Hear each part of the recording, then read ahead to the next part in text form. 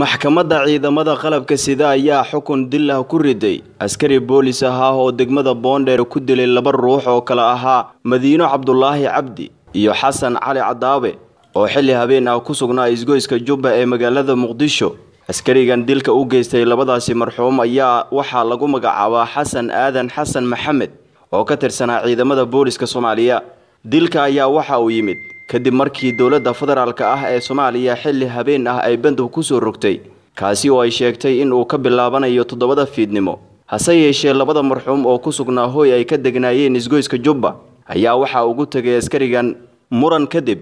xabad afsaar ahayd ayaa ku fakatay labada marxuum ee lagu kala magacaabo madiino cabdulaahi cabdi iyo xasan cali cadaawe. Banaanbaxyo xoogan ayaa ka dhashay dilka labadaasi marxuum kuwaasi oo ay dhigeen shacabka ku dhaqan degmada boondheer.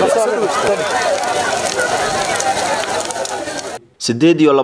juun ayaa la furay galdacwadeedka loo haystay eedeysane xasan aadan xasan maxamed oo ka tirsanaa ciidamada booliska ugu dambeynna maanta ayaa la soo gebagabeeyey dhegaysiga sida uu ku dhawaaqayo guddoomiyaha maxkamadda sare ee ciidamada qalabka sida xasan cali nuur shuute.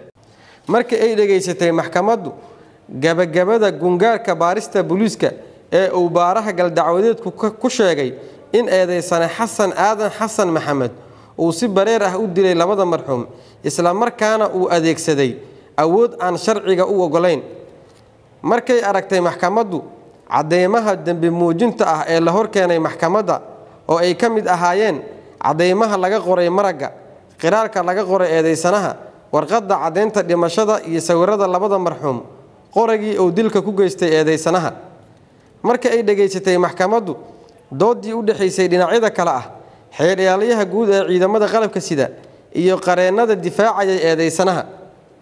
sidaa darteed maxkamadda waxaa u caddaatay in eedeysane deble boliis xasan aadan xasan maxamed uu yahay dembiilo galay dembiga lagu soo oogay waxayna maxkamaddu ku xukuntay dil toogasho ah oo ah qisaasta marxuumiinta kale ah madiino cabdulaahi cabdi iyo xasan cali cadaawe. Ciddii aan ku qanacsanayn xukunka maxkamadda waxaa u furan raacfaan. Wabilaahi towfiiq cumar yuusuf maxamed raadiyaha iyo t v-ga city muqdisho